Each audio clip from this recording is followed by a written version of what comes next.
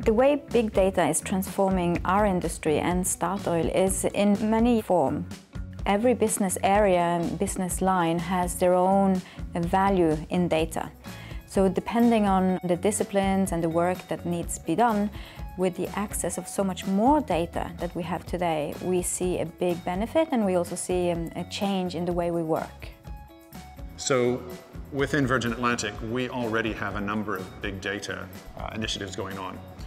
We get information from our airplanes, from our maintenance crew, from our fuel suppliers that allows us to analyze how fuel efficient those planes are being. And using some modern statistical techniques, we've been able to cut the amount of fuel that we use by a couple of percent, which may not sound a lot, but when you consider that we spend in the region of uh, literally billions of dollars on fuel, a couple of percent makes a big difference to our bottom line. So that's where big data has had an immediate impact. But we're starting to roll out those analytical techniques into uh, revenue management, into customer management, looking at all aspects of our operation to see what we can do with the information we already have to make more effective business decisions. So I believe the next five years will be a huge challenge for organizations to unfreeze, to become fluid again, um, to rethink their structures.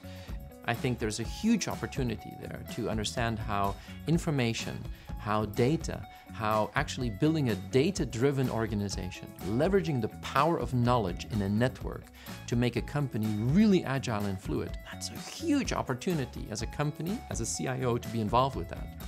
We, for example, have just taken delivery of Boeing's new 787 aircraft. Those planes have been built with a view to spewing out vast amounts of data.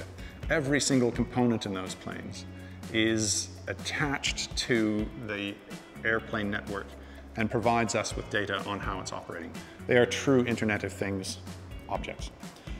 A 787 on a single flight can produce upwards of a third a terabyte of data. And when you consider that each of those planes is doing uh, hundreds if not thousands of flights a year, the amount of data that we have to deal with is truly massive.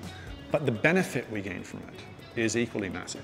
Instead of just having the data into one silo, like one area, one discipline, we're able to share the data across disciplines and we can see that the cross connection brings new um, benefits.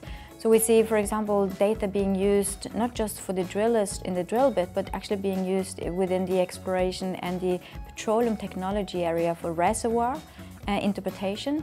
And also we see benefits where we share data between disciplines like finance and control and geologists. What we're starting to look at is how the Internet of Things impacts the consumer. And you have a, a duality which is conflicting with each other quite a bit because as a company, I want to know everything about a consumer wherever they are. As an individual, I absolutely hate the thought that people can look at what I'm doing, where I am, and what's happening with my data.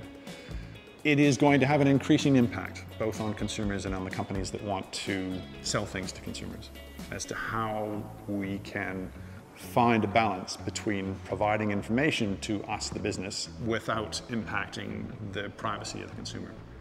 If, as a company, you can make that exchange explicit, if you can say, I'm going to give you value in return for the information that your devices are blasting out to the world, I think there's not going to be too many problems.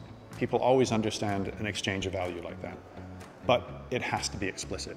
What we say is that the data owner is the asset owner. It's very much the data is, is the business. It's important for the business and that's where it needs to be. So the IT role is orchestration, is ensuring that it's, it's accessible, it's uh, reliable, it can be utilized and you can actually enhance the value of the data. But what we do is we are very close connected to the business lines to ensure that they are the ones pulling the facts, pulling the data and not just IT pushing it. Because the only way we believe we can make things change is if there is a curiosity around how you can do things differently.